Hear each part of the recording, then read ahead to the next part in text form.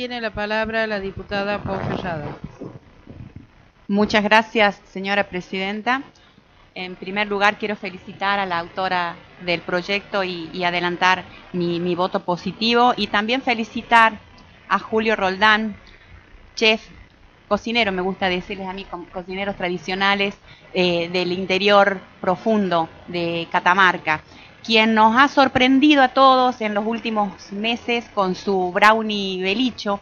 Y con este mm, brownie belicho que incluye productos catamarqueños, ha, trascendido los límites de la provincia y ha, llegado a, a un evento mm, gastronómico que se realizó en el Centro Cultural Kirchner junto al Ministerio de Cultura, Turismo y Deportes y ahí pudo mostrar en vivo su, su trabajo junto a otros cocineros o chefs de, Catamarca. También, como bien dijo la diputada que me precedió en la palabra, eh, fue invitado a programas de televisión vinculados al tema de la cocina. Pero más allá de eso, de toda esta rápida eh, carrera de, Julio, hay que destacar eh, sus ganas y su compromiso de llevar en ese plato su tierra, ¿no? los sabores, los paisajes,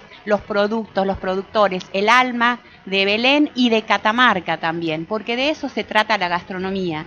Cuando aprobamos aquí el proyecto de ley del Día de la Cocina Catamarqueña, hablábamos de eso, la gastronomía es parte del patrimonio cultural inmaterial de la provincia, que es el que debemos justamente preservar de esta manera, visibilizando a aquellos que, lo llevan, que lo cuentan, que lo, que lo muestran y que lo ponen presente en cada plato que preparan.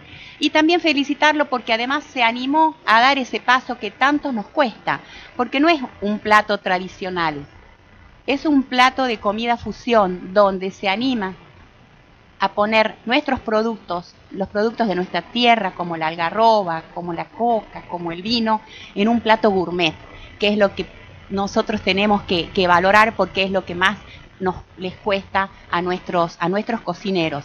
Poder poner esos productos en, de acuerdo a la demanda actual de las personas que le gustan sentir disfrutar los distintos sabores. Así que felicitaciones a Julio, felicitaciones a la autora del proyecto.